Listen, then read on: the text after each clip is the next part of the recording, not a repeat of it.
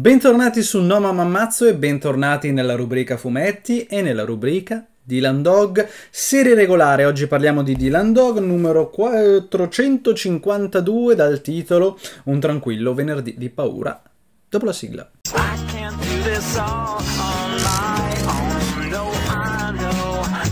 Superman. Dylan Dog 452 un tranquillo venerdì di paura di eh, Gigi Simeoni e con i disegni di Bruno Brindisi. Ragazzi, io quando vedo Brindisi sono sempre felice perché il mio primo Dylan Dog era il numero 51, Il male, di Tiziano Sclavi e con i disegni appunto di Brindisi e quindi sapere di ritrovare Bruno Brindisi in un numero moderno di Dylan Dog che sta continuando a disegnare Dylan Dog, però non capita così spesso, eh, mi rende sempre molto molto felice. Eh, tra l'altro, come lui stesso ha detto, eh, una nota tecnica che io stesso, che non sono un disegnatore, non, non, capisco, ha usato dei particolari retini per dare questo effetto di ombra molto particolare che effettivamente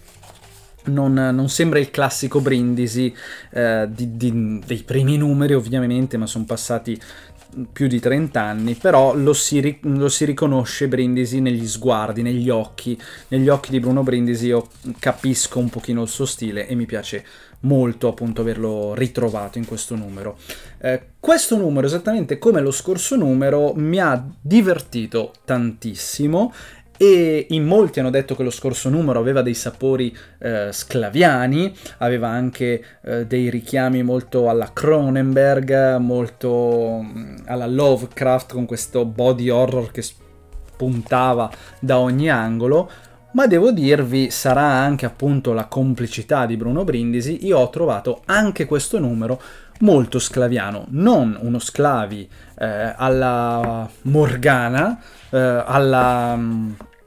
alla Golconda, ma sicuramente uno sclavi alla Il Male, uh, uno sclavi molto splatter, anche perché in questo numero non manca assolutamente lo splatter, sia nel presente sia nei flashback, vediamo tutti i vari mariti di questa adorabile adorabile tra virgolette, adorabile zietta di Groucho che hanno fatto una fine pessima, davvero pessima. E questo è uno di quei numeri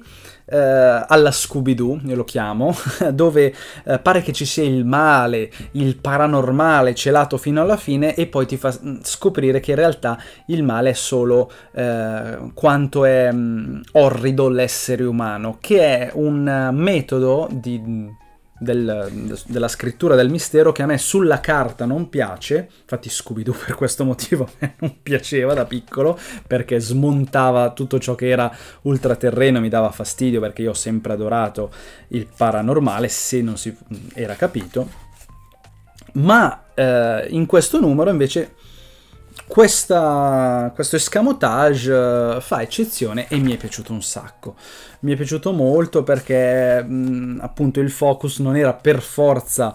il, il, paranormale, ma era appunto lo splatter che c'era dietro, come la fucilata che si è tirata in testa il primo malcapitato che abbiamo visto e un po' tutti gli altri che hanno fatto una fine simile. In tutte le morti ci sono sempre occhi che volano, eh, proprio a ricordarci quanto ci teneva sclavi a, a farci vedere gli occhi tolti dalle orbite che volavano in giro per le tavole. L'espediente che fa partire la storia mi sembra un pochino forzato, poteva essere gestito in un altro modo che però magari poteva risultare forse un po' troppo ripetitivo, però ci sta alla fine, è anche giusto così. L'espediente è questo, Dylan Dog e Groucho stanno tornando a Londra da... dopo un caso che hanno risolto, che non è andato molto bene e restano senza benzina. Banalissimo, questa parte mi è piaciuta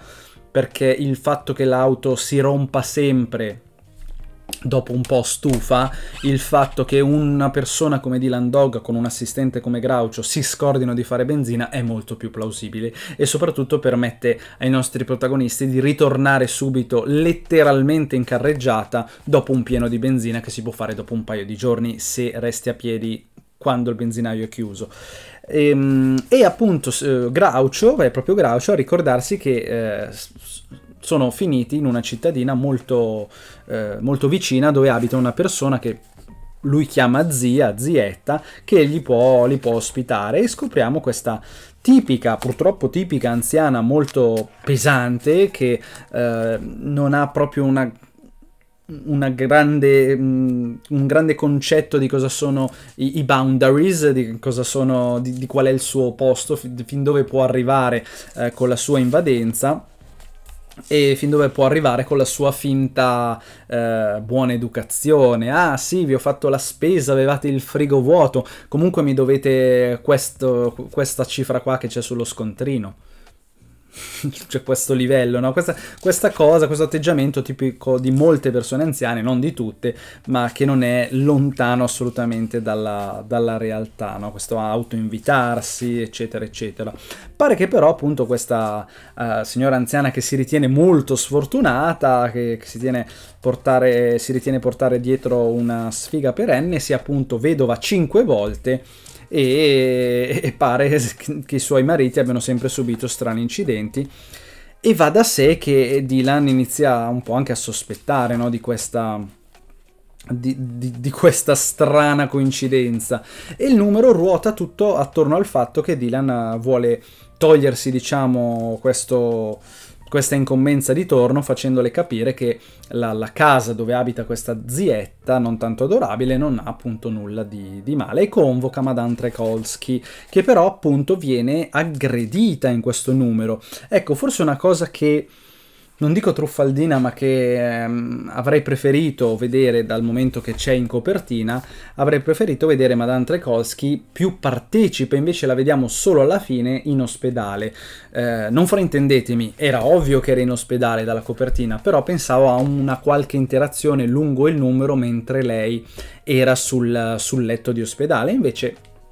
Madame Trekolsky è una sorta di protagonista non coinvolta, cioè è un fulcro uh, attorno alla quale ruota il vero interesse di Dylan Dog a un certo punto della storia, ma che non interagisce fino, a, fino alla fine. Molto, comunque molto molto interessante eh, questa vicenda molto gialla più che, più che horror che ci ha portato a una risoluzione del caso abbastanza ovvia per me a un certo punto, ditemi voi, ma uh, per me era, a un certo punto è stata così ovvia, soprattutto quando Dylan l'ha proprio detta, che mi sono detto, vedrai che c'è un, un, doppio plot twist e non è veramente così. E invece quello che ha detto Dylan è esattamente quello che è successo e non vediamo praticamente nemmeno un epilogo della storia. Eh, l'unico doppio plot twist, se così si può chiamare, è che questa persona alla fine non era nemmeno parente di Groucho, era semplicemente un vezzeggiativo che Groucho le aveva dato che ci può far capire, non lo so, che nel passato Groucho avesse vissuto in quel paese, perché se tutti in paese la chiamano zietta e la chiamava anche lui zietta, probabilmente Groucho viene da lì, ipoteticamente però n- non ci dice più di tanto, ci fa solo scagionare Groucho in quanto non, non, non avente più una, una, zia assassina che è finita in galera. Eh, questo un po' per togliercelo, toglierci questa cosa dalla continuity per i prossimi numeri. Eh, non è un vero e proprio plot twist nella trama, è un plot twist forse appunto che, che libera i futuri sceneggiatori da questa cosa perché se era davvero suo parente poteva risultare un po' pesante come cosa, però è molto carino, è, è stato una, diciamo, quasi una chiusa comica in un numero che ruota particolarmente attorno all'assistente di Dylan e questa cosa l'ho anche, l'ho anche apprezzato. Un numero appunto che ho, che ho, gradito, che mi ha intrattenuto dall'inizio alla fine, è stato proprio bello vedere questa, questa interazione, questa strana slice of life di Dylan Groucho, la zia di Groucho, eh, attorno a un caso, a una sfiga o quello che dir si voglia e mi piacerebbe vedere altri numeri fatti in questo modo. Fatemi sapere voi cosa ne pensate di questo numero, fatemi sapere uh, se vi è piaciuto, se non vi è piaciuto. Io come sempre vi ringrazio per avermi seguito fino alla fine del video, con l'inchino e con l'imbuto vi saluto e vi dico arrivederci al prossimo video che sarà sul Color Fest che ora vado a leggere. Arrivederci.